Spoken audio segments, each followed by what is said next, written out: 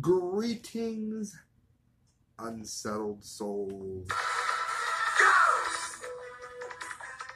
Sam I. B. Di Gangi during political commentary for the Media Speaks. And uh, friends, I think one of the things we're going to go over um, when we get to later in the show is I think people have lost the connection between Christianity and marriage.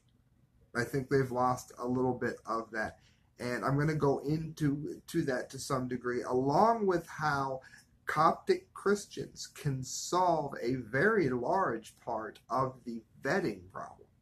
For those of you that don't know, uh, the problem in Europe has not been that Europeans don't have a heart and that they don't care about the migrants who are fleeing the problem in Libya.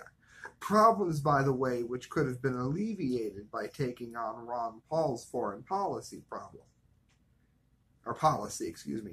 Uh, by that I mean it was Ron Paul who said that we're going to create a horrible problem if we get rid of Gaddafi, which they did because he wanted to establish his own currency independent of the dollar.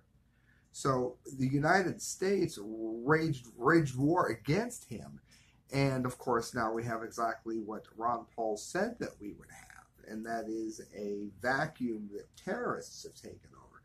It's not that the average person in Europe or in the West doesn't care about the plight of these people in Libya and elsewhere that are fleeing these terrible places.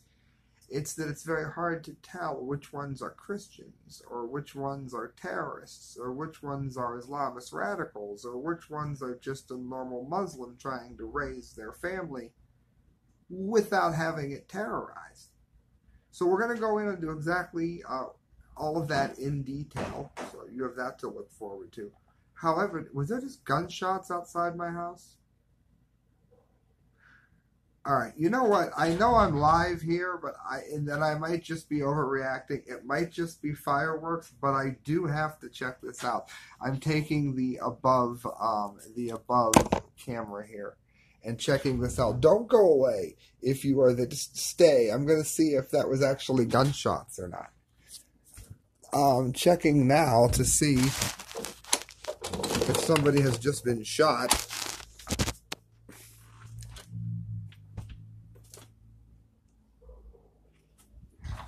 All right, whatever it was. No, I. For those of you that don't know, that's not an overreaction. Uh, I live in four four seven zero three, which is an absolutely remarkable place to die. I mean, we we have more shootings for the size of our city than just.